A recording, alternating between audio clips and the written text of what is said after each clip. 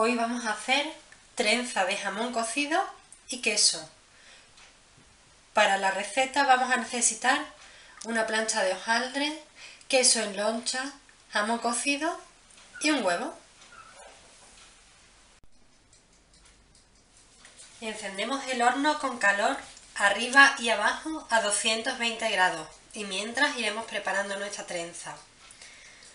Lo primero que hacemos es colocar el jamón cocido, yo voy a poner tres lonchitas en el centro, dejando espacio por arriba y espacio por abajo.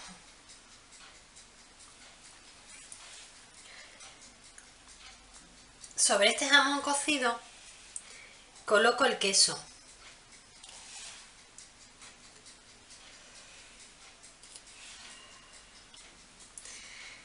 Vuelvo a poner jamón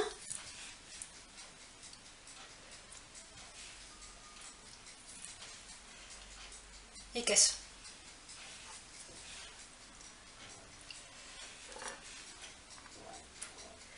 Y ahora lo que tenemos que hacer es empezar a darle cortes.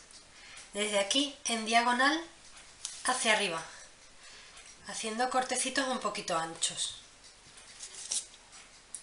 Así, en un lado y otro más o menos simétrico hasta que la tengamos completa.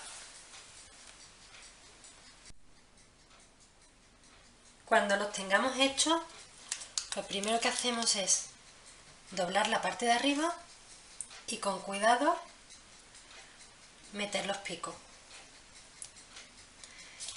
Y ahora ya cogemos de un lado y de otro. De un lado y de otro. Así hasta terminar toda nuestra trenza.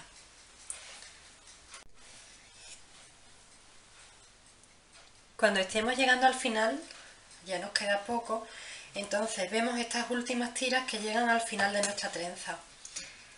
Y vamos a hacer un corte, eliminando la masa y dejando un poquito para cerrarla. Todo esto se elimina. Y esto también se elimina.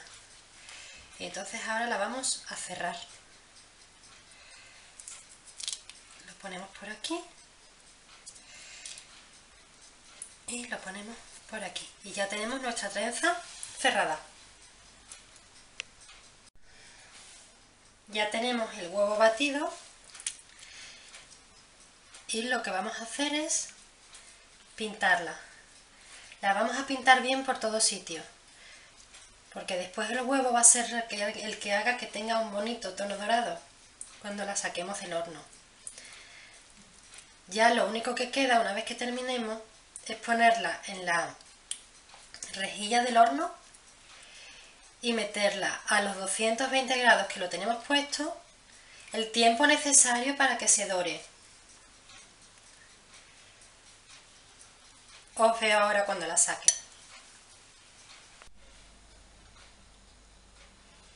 Y así es como ha salido la trenza del horno. Si os ha gustado la receta, al final del vídeo podéis darle la manita arriba y suscribiros a mi canal. Nos vemos en la siguiente receta.